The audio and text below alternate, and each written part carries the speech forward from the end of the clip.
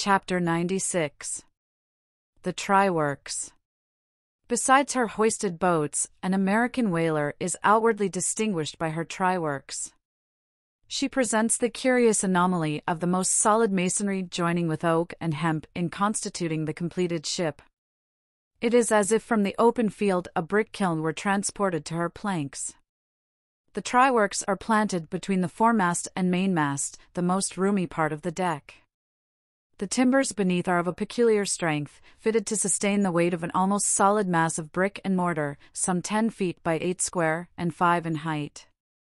The foundation does not penetrate the deck, but the masonry is firmly secured to the surface by ponderous knees of iron bracing it on all sides and screwing it down to the timbers.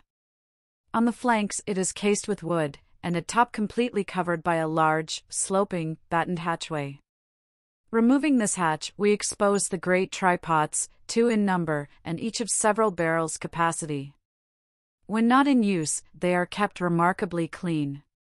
Sometimes they are polished with soapstone and sand, till they shine within like silver punch bowls. During the night watches, some cynical old sailors will crawl into them and coil themselves away there for a nap. While employed in polishing them, one man in each pot, side by side, many confidential communications are carried on, over the iron lips. It is a place also for profound mathematical meditation. It was in the left hand trypot of the Pequod, with the soapstone diligently circling round me, that I was first indirectly struck by the remarkable fact that in geometry all bodies gliding along the cycloid, my soapstone for example, will descend from any point in precisely the same time. Removing the fireboard from the front of the tryworks, the bare masonry of that side is exposed, penetrated by the two iron mouths of the furnaces, directly underneath the pots. These mouths are fitted with heavy doors of iron. The intense heat of the fire is prevented from communicating itself to the deck by means of a shallow reservoir extending under the entire enclosed surface of the works. By a tunnel inserted at the rear, this reservoir is kept replenished with water as fast as it evaporates. There are no external chimneys, they open direct from the rear wall. And here let us go back for a moment. It was about nine o'clock at night that the Pequod's tryworks were first started on this present voyage. It belonged to Stubb to oversee the business. All ready there? Off hatch, then, and start her. You cook, Fire the works. This was an easy thing, for the carpenter had been thrusting his shavings into the furnace throughout the passage. Here be it said that in a whaling voyage, the first fire in the tryworks has to be fed for a time with wood. After that, no wood is used, except as a means of quick ignition to the staple fuel. In a word, after being tried out, the crisp, shriveled blubber, now called scraps or fritters, still contains considerable of its unctuous properties. These fritters feed the flames. Like a plethoric burning martyr, or a self consuming misanthrope, once ignited, the whale supplies his own fuel and burns by his own body. Would that he consumed his own smoke? For his smoke is horrible to inhale, and inhale it you must, and not only that, but you must live in it for the time.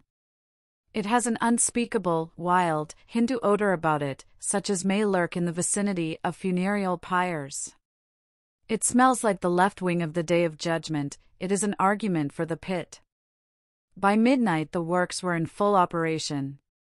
We were clear from the carcass, sail had been made, the wind was freshening, the wild ocean darkness was intense.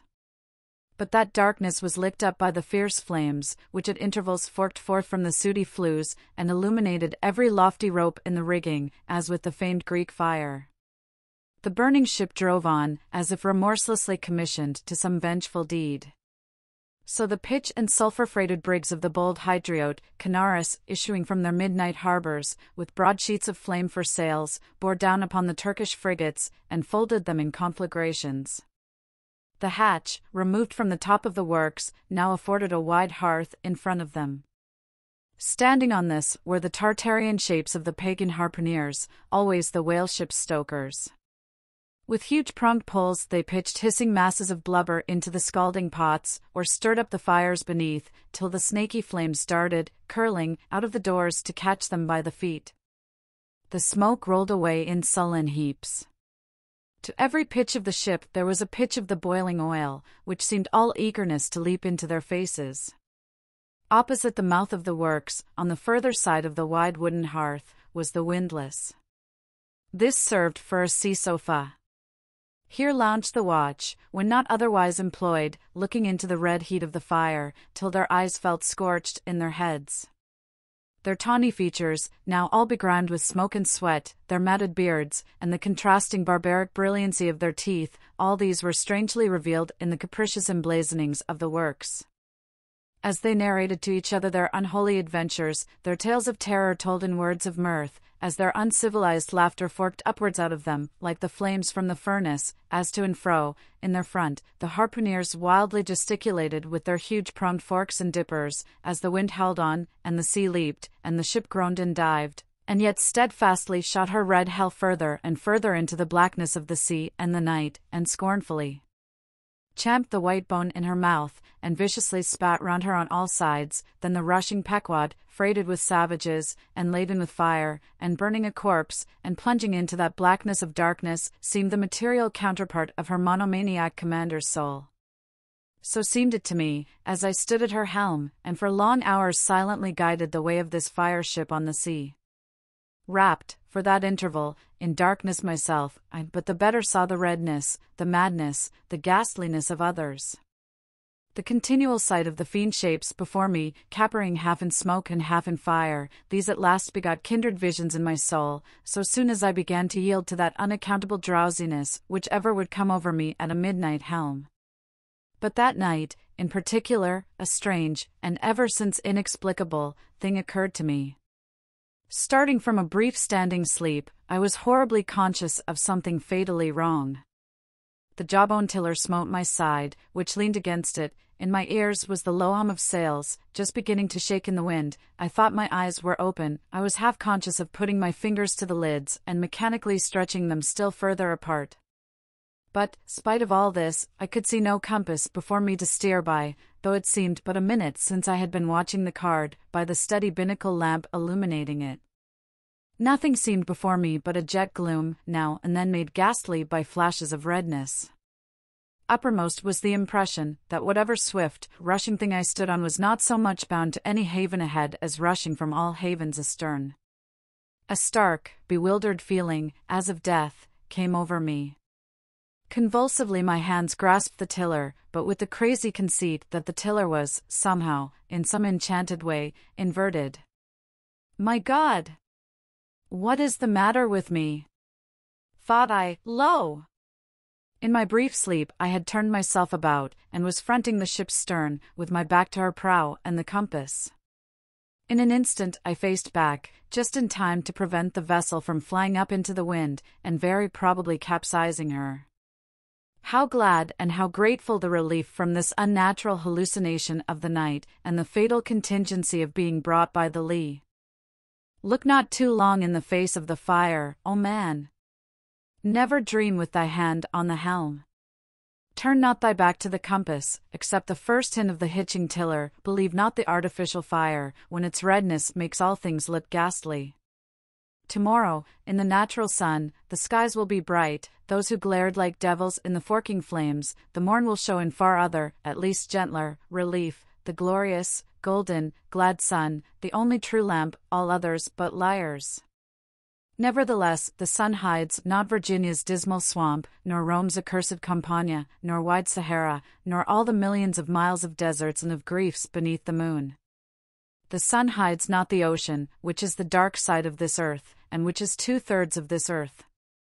So, therefore, that mortal man who hath more of joy than sorrow in him, that mortal man cannot be true, not true, or undeveloped.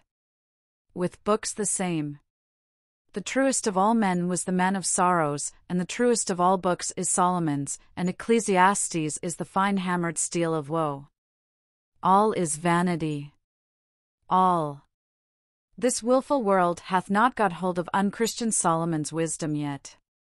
but he who dodges hospitals and jails, and walks fast crossing graveyards, and would rather talk of operas than hell, calls Cowper, Young, Pascal, Rousseau, poor devils all of sick men, and throughout a carefree lifetime swears by Rabelais as passing wise, and therefore jolly, not that man is fitted to sit down on tombstones, and break the green damp mould with unfathomably wondrous Solomon.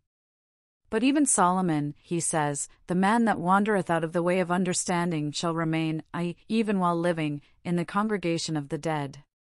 Give not thyself up, then, to fire, lest it invert thee, deaden thee, as for the time it did me. There is a wisdom that is woe, but there is a woe that is madness. And there is a catskill eagle in some souls that can alike dive down into the blackest gorges, and soar out of them again and become invisible in the sunny spaces. And even if he forever flies within the gorge, that gorge is in the mountains, so that even in his lowest swoop the mountain eagle is still higher than other birds upon the plain, even though they soar.